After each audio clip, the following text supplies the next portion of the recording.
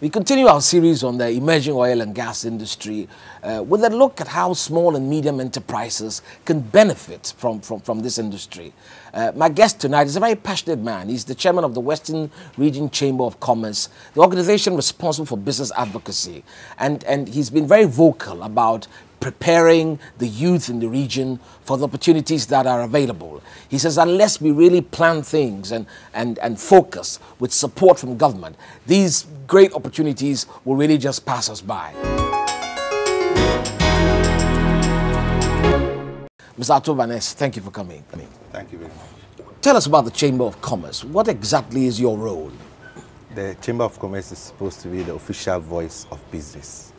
The official voice of business. Business, yeah.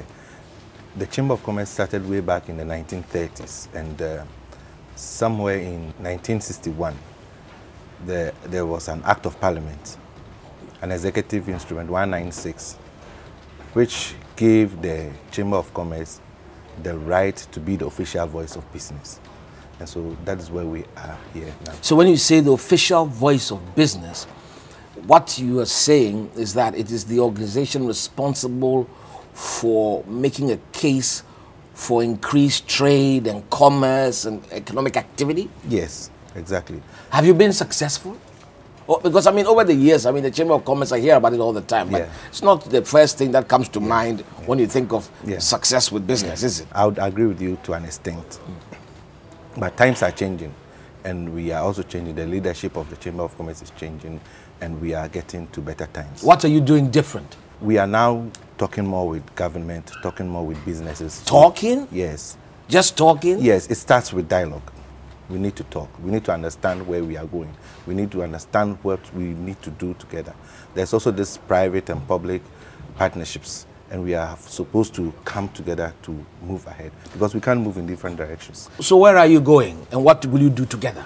Well, we are all looking forward to developing Ghana. The chamber, I would imagine, is also provides training, I would imagine, and so on to to, to budding entrepreneurs. Yes, Uh, is that a successful project? yes, to a large extent. But for example, in the Western region, we have coming up with this business incubator. It's a deliberate effort to help startups, especially the young ent- the young entrepreneurs who are now there, who don't really know what to do. They don't even know where to start from. And so, for example, if you want to set up a business in Takoradi, where do you go to? You go to the uh, um, Register General, and what next? You fill your forms, and what next? How do you start up? How do you get on your feet and all those things? So we are trying to come up with this incubator, which is going to be supported by our knowledge center.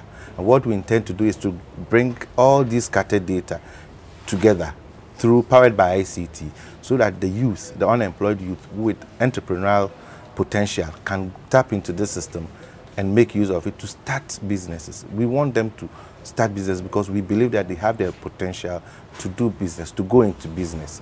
And so that's what basically we are doing at the You say bring data together. Yeah. What do you mean? Data is scattered all over the place. When you say well, data on Yeah. what? On, you mean data for business data, for, for example. Yeah. For example, as as you sit here, if you want to start a business, can you tell me the processes? Can you tell me where you have to go? Do you know the requirements? Where are you going to find all this information?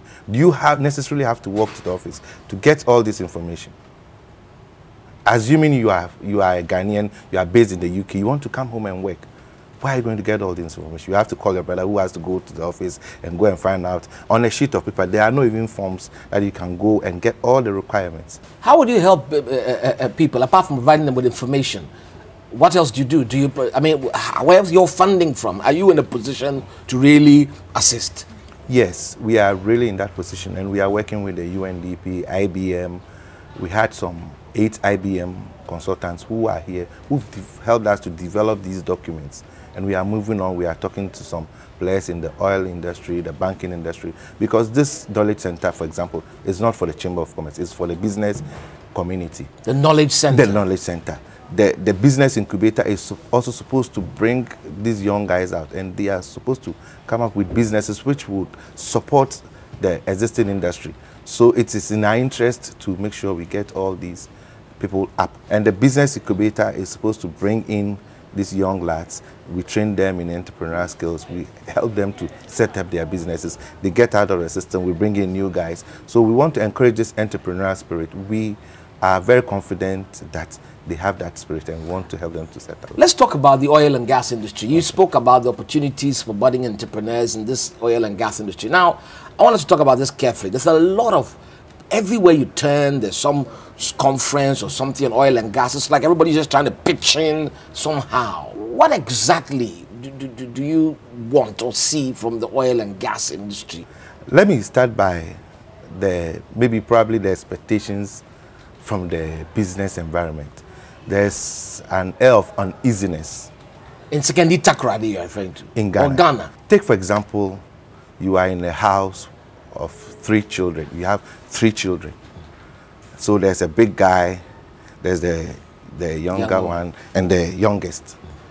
And all along, we are used to this big guy, this big guy who is a big guy around. Take, for example, the, the, the mining industry. They've been the big guys all around, all along. They have their cars flashing in our faces. They have their big, big facilities, huge infrastructure. And sometimes, it's like, it's not sometimes, every, all the while, people are like, I want to be with the mining industry.